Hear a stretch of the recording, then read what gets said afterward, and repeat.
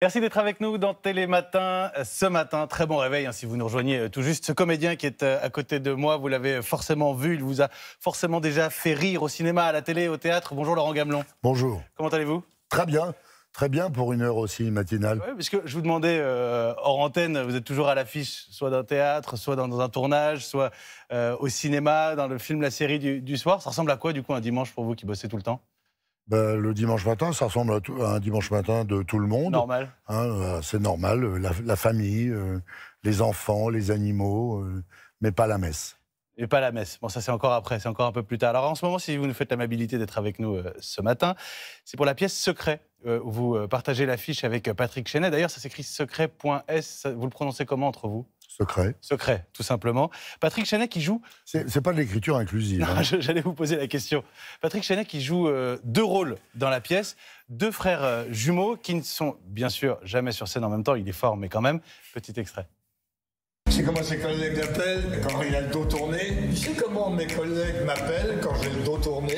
Je veux pas le savoir. La baraka, le neuneu. J'ai une grande nouvelle. Ah. Une fois que je te l'aurai dit, je me sentirai mieux. Si c'est un secret, peut-être ne pas que tu m'en parles. Moi, je préfère. Oui, mais moi, bof. Oui. Il y a un proverbe chinois qui dit le secret le mieux gardé est celui qu'on ne confie à personne. Il faut écouter les Chinois. Et je voudrais souligner une autre phrase qui revient euh, dans la pièce. Ce n'est pas parce qu'on frappe à votre porte qu'il faut ouvrir. Il peut y avoir de mauvaises surprises. Il faut forcément ouvrir. Il faut forcément ouvrir. Mais en fait, cette pièce est, faite avec un certain nombre de flashbacks et le, spectacle commence avec le personnage que je joue qui explique euh, euh, avec force euh, détail pourquoi et toutes les raisons qui font que il vaut mieux pas ouvrir sa porte quand on frappe chez vous? En tout cas, dans, la pièce, il aurait mieux fait de ne pas ouvrir. C'est Patrick Chenet hein, donc, qui vient frapper à cette porte. je le disais, il joue deux personnages à la fois, deux frères jumeaux, deux bons amis de votre personnage. L'un est même votre beau-frère. D'ailleurs, c'est pas simple, hein, un moment pour suivre. J'ai noté cette phrase Tu es mon ami, mais tu es aussi mon beau-frère par adultère. Hmm? Vous dit-il. Vous essayez comme ça d'embrouiller le, spectateur de, Enfin, c'est pas moi qui essaie d'embrouiller. moi, je, suis une âme d'or. Oui, dans la pièce, oui. Oui, c'est compliqué parce que je suis euh, l'ami de l'un, l'ami de l'autre, et donc le beau-frère aussi d'un des deux. Et, euh, on, a, on, a, euh, on a une tradition qui est de se retrouver chez moi pour suivre la finale de Roland Garros. Et ce jour-là, un des frères arrive un peu en avance, volontairement, pour éviter d'être confronté à l'autre. Il me confie des secrets qui évidemment concernent son frère. Et je suis le, réceptacle de tout ça. Et c'est très très problématique parce que l'autre frère va arriver. Je sais ce qui le concerne et ce qui va conditionner son existence, mais je ne peux rien dire. Évidemment, puisque c'est une promesse, c'est un secret. Alors ce sont des horreurs, hein. c'est euh, secret qu'ils vous confient l'un l'autre, des crasses qu'ils se font même. Et vous, vous êtes là au milieu du match, le, bon copain.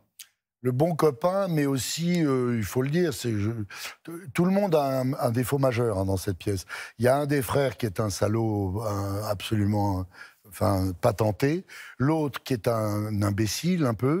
et vous, Un lâche. Un lâche? Oui. Oh, vous êtes dur. Non. Je trouve ça dur, c'est terrible d'avoir ce secret qui arrive, d'avoir la confiance des deux. Certes, mais il pourrait à un moment prévenir celui qui va subir euh, les, les, les, le, pire. le, pire. Et je ne lui dis pas, à la fois parce que j'ai promis, mais aussi parce que je suis un lâche. cela dit, vous dites bien aussi, je ne veux pas le savoir. C'est-à-dire que moi, si on me dit j'ai un secret, je vais, je vais faire le, pied de grue, je vais absolument tout faire pour savoir. Vous, vous dites non, je préfère pas savoir. Tous les secrets ne sont pas bons à entendre. Oui, parce qu'il se doute que c'est terrible. Et très vite, il comprend que ces secrets sont très lourds. Donc, euh, comme il sent qu'il va y en avoir d'autres, il essaie d'y échapper. Il essaie d'y échapper. Et ça, ne marche pas. Mais vous pensez qu'il vaut mieux se fermer les oreilles de temps en temps quand entendre le pire? Je ne sais pas. c'est dur de, de répondre en trois minutes. Alors, ça part dans tous les sens. Les secrets sont euh, loufoques, les situations euh, rocambolesques et on rit beaucoup. Et d'ailleurs, ce qui m'a marqué, c'est que vous, jouez avec les, rires du public, vous vous appuyez dessus euh, expliquez-nous un petit peu. Il y, a un côté, ça rythme la pièce, ça rythme votre jeu. Ah mais ça toujours. Dans une comédie, on ne peut pas passer par-dessus les rires. Il faut laisser quand même le temps aux gens de rire, mais il ne faut pas les laisser aller jusqu'au bout de leur rire. Il ne faut pas attendre que le rire s'éteigne complètement pour redémarrer, sinon euh, on perd le rythme de la pièce. Donc c'est un savant mélange entre euh, laisser la place au rire, mais en même temps garder le dynamisme. Couper avant qu'il s'arrête. C'est ça. Oui, exactement. Et ça, c'est tous les soirs différents, j'imagine. Et tous les soirs, Aussi, parce que les salles ne réagissent pas de la même façon. Et cela dit, ça, réagit euh, beaucoup, évidemment. Vous vous inscrivez, je, vous cite hein, dans, dans, une interview, dans la figure du grand costaud marrant. Ça vous va cette définition Je vais même parfois jusqu'à dire que j'ai beaucoup incarné les cons glorieux. Les cons glorieux, c'est un peu les personnages de Fédo. C'est que ce sont des, ce sont des crétins, mais qu'on excuse parce qu'ils ont quelque chose de touchant ou d'enfantin. C'est pas, c'est de la connerie, mais pas méchante. Ça, j'en ai fait pas mal. Je, le fais assez bien les cons, je crois. Vous faites bien les cons Oui. je, je vous laisse juge de savoir pourquoi j'y arrive très bien. Je sais pas. Vous aspirez à autre chose? À, faire autre chose que les cons? Ouais. Oui, ben. Que le grand costaud marrant, moi j'avais. Je j'ai pas fait que ça non plus.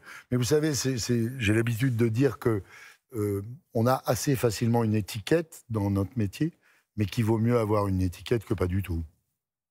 Il y a une réponse que, que je cite aussi parfois, parce que c'est un des acteurs français que que j'adore, qui est Lino Ventura, et qui, à qui un journaliste a dit un jour, mais euh, Monsieur Ventura, certains vous reprochent de faire un petit peu du, du Ventura.